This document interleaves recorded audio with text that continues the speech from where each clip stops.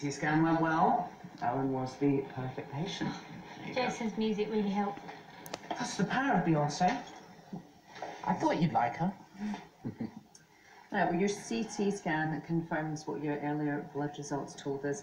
You have osteomyelitis, Ellen. It's a rare bone condition, but it is treatable if we drain the affected area.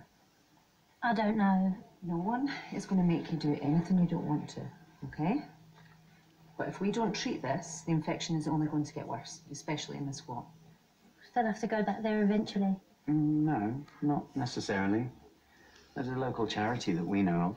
They might be able to find you a room of your own, work out what's making you anxious or angry or want to escape. That's just me. Well, maybe. But I worked with a patient once who had a condition called pathological demand avoidance.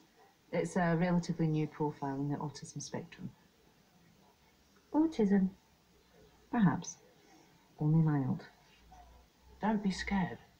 I was much happier once I understood the things that make me who I am. I could introduce you to the team here. It will all be on your terms. Okay.